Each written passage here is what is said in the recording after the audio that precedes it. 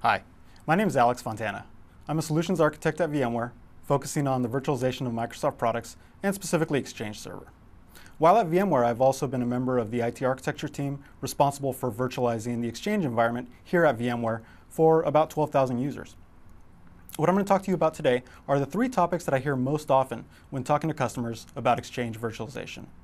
First of all, has anyone done this? Are there any other customers that have successfully virtualized Exchange? Secondly, is this supported? Does Microsoft support virtualizing Exchange? Are there any caveats? Does VMware support virtualizing Exchange? And then thirdly, what are the benefits of virtualizing Exchange on VMware vSphere? Has anyone done this? The answer is simple, yes. We have thousands of customers that have successfully virtualized Exchange on VMware vSphere. One customer in particular comes to mind, Intermedia. Intermedia is an Exchange hosting company, which today supports over 450,000 Exchange mailboxes 150,000 of which are hosted on VMware vSphere. Intermedia also has a commitment to virtualize all new environments in their hosted Exchange environment. Support. Does Microsoft support the virtualization of Exchange?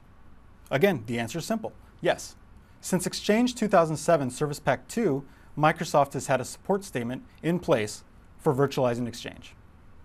With Exchange 2010 Service Pack 1, Microsoft opened the doors even wider allowing features such as VMware vMotion and vSphere HA to be used along with certain features of Exchange, such as database availability groups.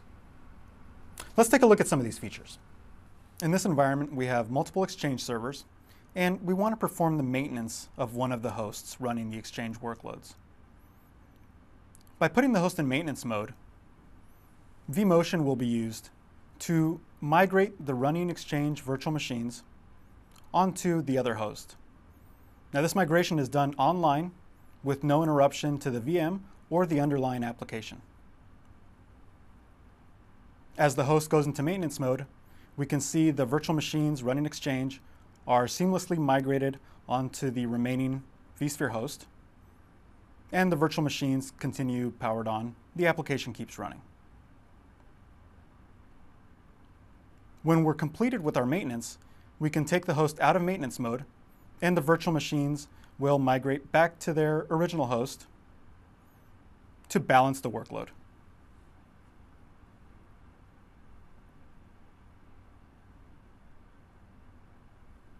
Now let's take a look at how a feature like Storage vMotion allows us to seamlessly migrate our virtual machine storage without any interruption to the running virtual machine. In this environment, we have two Exchange Edge servers.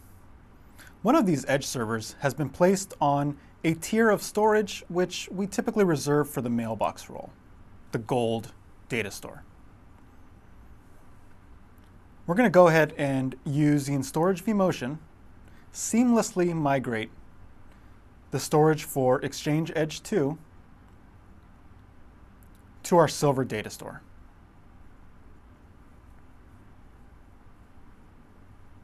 Now, as we migrate the virtual machine storage device, our application is going to be completely unaware that the storage under the virtual machine is being migrated. Upon completion of the migration, our Exchange Edge server number two will be on the appropriate data store.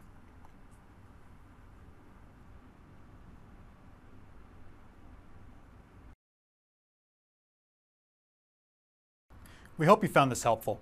For more information on virtualizing Exchange, go to www.vmware.com forward slash go forward slash exchange.